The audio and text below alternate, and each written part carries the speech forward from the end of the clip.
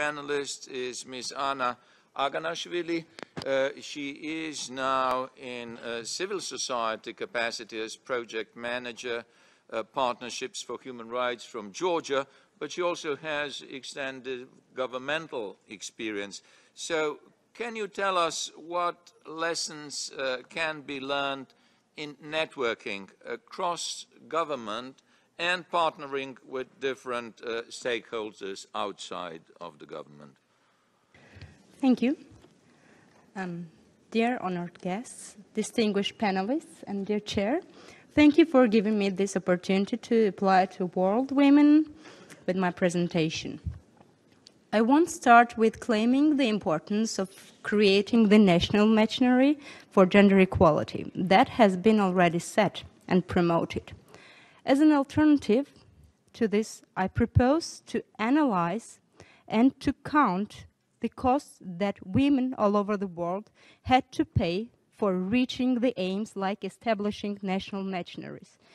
Even though Albert Einstein claimed that not everything that counts can be counted and not everything that can be counted counts, we need to count the costs. Unless we count, we often forget about them and easily give up things that these women has reached by sacrificing their personal lives to, to the public goods.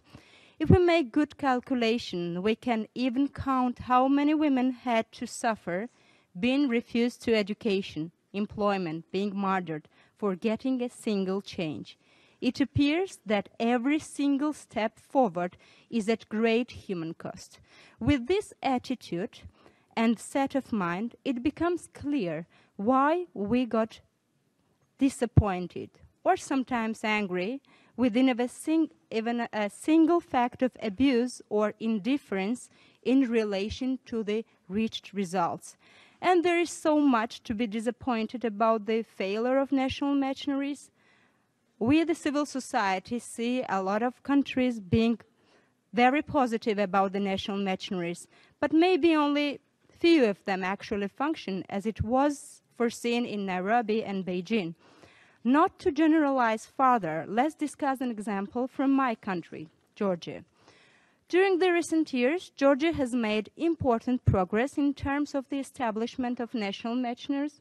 Since 2010, there functions a standing council on gender equality at the parliament. In 2013, there was established a special post of the Assistant of the Prime Minister on Human Rights and Gender Equality. That was followed with the establishment Human Rights Council. Sounds very impressive, right? But at the same time, there is very little services for the victims of the violence, only shelters. Neither general nor vocational education programs are gender sensitive. We still don't have gender sensitive budgets. Women are not benefiting from the gender sensitive health and social systems. Actually, the victims of the violence has to choose between being a victim or getting a social assistance. No social workers are dealing with the women experiencing issues, and there is a very high rate of unemployment and homelessness. It means that our national machinery is failing, and we just enjoy a thick layer of gender equality paint. And let's get angry and ask why. The reasons underlying is that still gender equality is not a priority on the development agenda of the government. And the above mentioned institutional mechanisms and actions are weakly funded, and gender equality agenda is mainly driven by the international actors.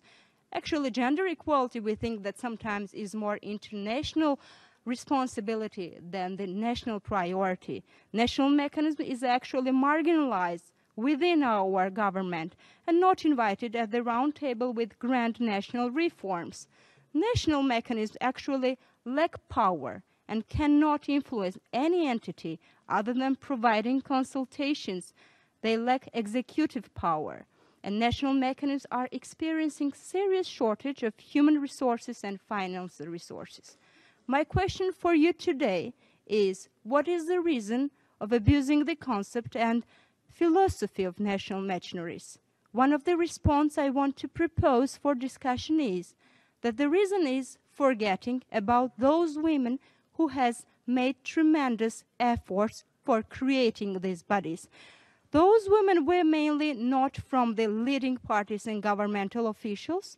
Those women were from women movement and women social society, civil society organizations.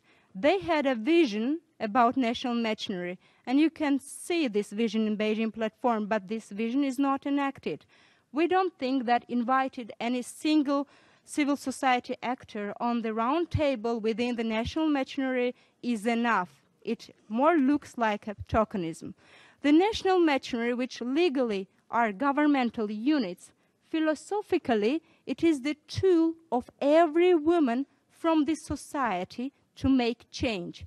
It means that national machineries rather not belong to the government but belong to women, women movement and women organizations. On one hand, national machineries should not only speak with the civil society organizations, but actually should set up joint action plans and be legally accountable to all women in the country and women organizations.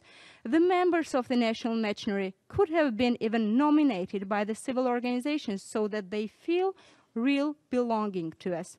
Once it is achieved, if the state government ignores the recommendations from the national machinery, we, the women NGOs, can put actual pressure on the government and request to obey to these recommendations. In this way, national machineries regain its power, its activities being supported by a thousand women on daily basis and regain its philosophy, the reason it was founded for, the reason why thousands and million women paid the price.